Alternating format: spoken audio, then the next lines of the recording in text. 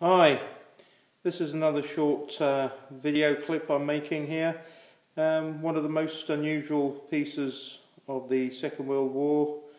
Here we have a German three-rotor Enigma decoding machine. Here we can see it in its closed position in its wooden case. Let's just open the lid.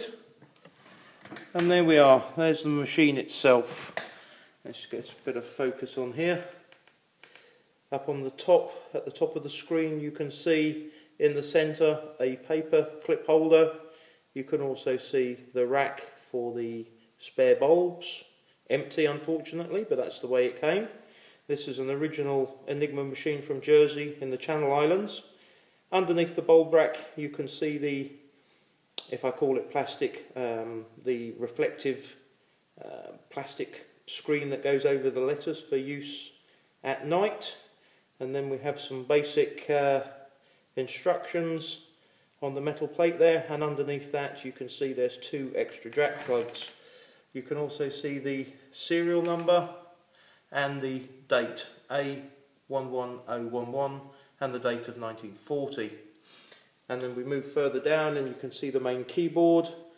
Uh, let's just drop the front flap down for you You've got the stecker board at the front there. This is the jack plugs which enables further further encryption of your coded letter. Again, you can see the uh, serial number A11011. There's your keyboard with the German alphabet um, and your light up section just above it. So effectively, when you type with the bottom keyboard, your letter will come back coded to you on the top on the top section of letters there. Let's just give it a go. Let's just have a look. Um, if I press H, the letter G lights up. If I press K, the letter T lights up. If I press C, the letter D lights up. So there we are. What we have here is a working 1940 German three-rotor Enigma machine from Jersey in the Channel Islands. Uh, picked up on Liberation Day 1945 by a Jerseyman who was looking for radio equipment. He took it home, couldn't find where to put the paper, thinking it was a typewriter. He closed the box up and left it in the cupboard for the next 30, 40 years till he gave it to me when I was about 13 years of age. It's been in my possession ever since. Um, I actually have two because he picked up another machine at the same time. I've also got A12370 which is dated 1941. That machine is on display in my museum here in Jersey on the Five Mile Road, Channel Island Military Museum. Um, that's to be seen by the public seven days a week when the, when the uh, season started, normally the Monday before Good Friday all the way through to the end of October.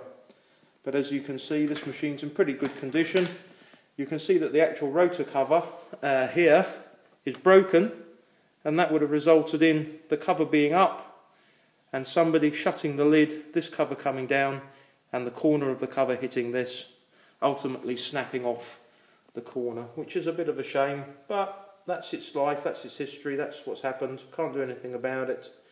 Um, internally it's complete, it's working as you can see. Um, I guess it's, uh, albeit not as uh, rare as it once was, these things are occurring, you know, they're popping up every now and again, people do find them. It's still a rare item and uh, I'm quite proud to own it. Okay, that's all for now. Cheers, bye.